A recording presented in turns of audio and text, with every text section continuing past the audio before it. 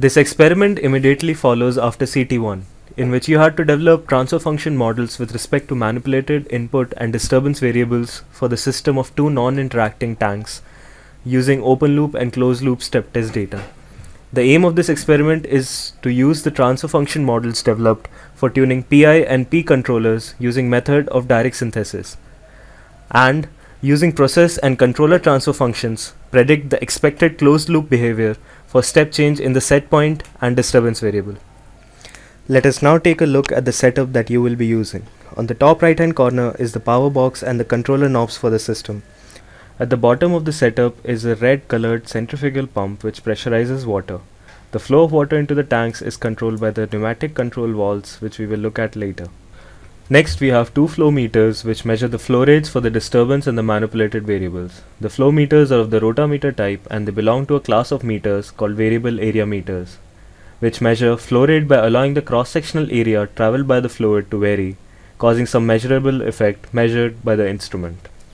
The tanks in the non-interacting setup are two long cylinders of 15 cm diameter each and have an orifice constant of 3 into 10 to the power minus 4 each. These tanks are stacked on top of each other and since any fluctuation in either of the tanks are independent of each other, they are labeled as non-interacting tanks. The water flows into each of the tanks from the top and flows out through an opening at the bottom. The input to the tank on the top is the input variable and the input to the tank on the bottom is the disturbance variable. The aim of the controller is to control the height of the water in the bottom tank. On the top left hand corner is the Krohne IFS 4000 electromagnetic flow meter. Electromagnetic flow meters are the third most common flow meters behind differential pressure and positive displacement flow meters. A magnetic field is applied to the metering tube, which results in a potential difference proportional to the flow velocity perpendicular to the flux lines. The physical principle at work is electromagnetic induction. You can see that below the bottom tank lies the blue colored pressure sensor which essentially measures the height of the water in the bottom tank and conveys the information through a 4 to 20 milliampere range signal to LabVIEW. On the right and left hand side behind the flow meters are the pneumatic control valves which control the flow of water into the tanks. Control valves are valves used to control conditions such as flow, pressure, temperature and liquid level by fully or partially opening or closing in response to signals received from controllers, which in our case comes from LabVIEW. The one on the left controls the disturbance variable flow and the one on the right the manipulated variable flow. Here you can see the screenshot of the LabVIEW interface that you will be seeing on your computer. First select the file path into which you will be saving the data values here.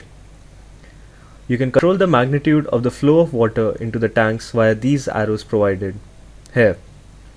The height of water in the tank 2 can be seen plotted with respect to time and the step change can be seen in this graph. Let us now talk about the procedure to be followed when performing this experiment. Before performing this experiment, you should go through the video titled Philosophy of Process Controls and understand the importance and application of the experiment that you are performing. Now go ahead and understand the setup and the role each equipment plays and its importance. It is very crucial to realize how each equipment functions and the effects they have on the outcome of the experiment. You may be asked to explain the same by the faculty or the TAs. Next, start up the equipment and let it reach steady state. Steady state is a state at which the height of the tank reaches a steady mean value and all the instantaneous values fluctuate around it with a normal distribution. When the system reaches steady state, give a positive step change of 2 units from the existing value using LabVIEW and wait for the system to reach a new steady state. Now, give a negative step change of 2 units and allow the system to reach a new steady state. Please note that the effect of the step changes on the instantaneous height is being saved as values in the text file you had selected at the start of the procedure. The next step in the experiment is to give a positive step change of 2 units to the set point, which is a servo problem. After the steady state is reached, now give a negative step change of 2 units to the set point. Your experiment is now completed. Switch off the apparatus and mail the text file with the values to yourself. Next, using the data file, try and design a P or a PI controller by fitting a first or a second order transfer function using fminCon or any other alternative function in MATLAB or Scilab and then using method of direct synthesis. Finally, simulate the experiment in MATLAB and using the controller that you have just now developed, give a positive and negative step change of 2 units. Report the results obtained in the form of graphs and compare them with the experimental results.